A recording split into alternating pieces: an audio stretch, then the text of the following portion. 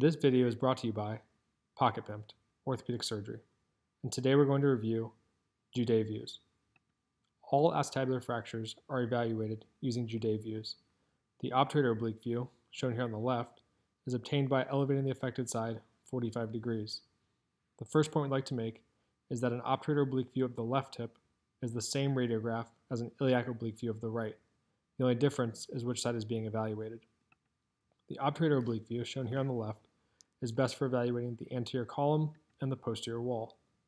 Conversely, the iliac oblique, shown here on the left, is best for evaluating the posterior column and the anterior wall. This can be remembered using the mnemonic Iowa, iliac oblique wall anterior.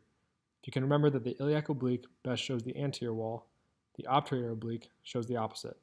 This will help you keep things straight.